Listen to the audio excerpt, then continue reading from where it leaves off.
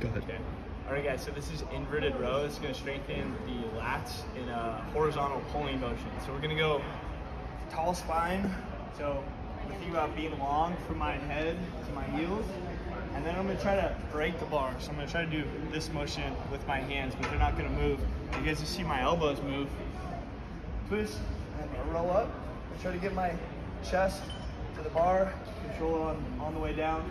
Break the bar, roll up, control it on the way down. You can see I had to walk my heels back a little bit, so you kind of got to play around with the distance. If your heels are too far forward, it's going to be, you're not going to be able to really get and make that contact. So you got to walk them back a little bit, find that good distance, come down, break the bar, exhale up, inhale on the way down.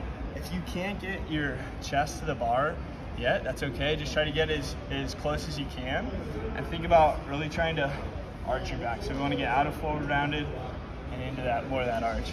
It's inverted row.